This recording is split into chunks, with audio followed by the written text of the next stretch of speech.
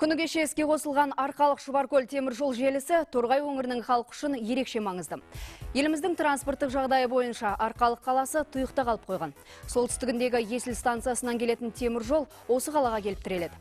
Одан әрі қарай ешқандай бағытқа жол жоқ. Енді жаңа темір жол желісі Арқалықты Шұбаркөл бекетімен жалғайды. Нәтижесінде солтүстіктен келетін темір жол Арқалық Шұбаркөл арқылы әрі қарай Қарағандыға дейін барып, Алматы және Шығыс Қазақстан облыстарына дейін жетуге болады.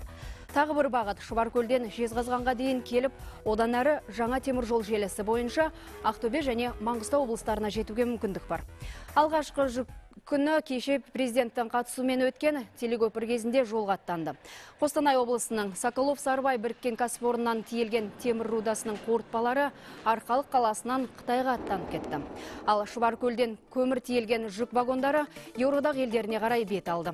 Яғни осы күнге дейін тұйықта қалып қойған Арқалық қаласы ендігіде Қазақстанның барлық аймағымен және Әзірбайжан, Грузия, Түркия, Парсы шығанағы және Таяу шығыс елдерімен байланыс алады.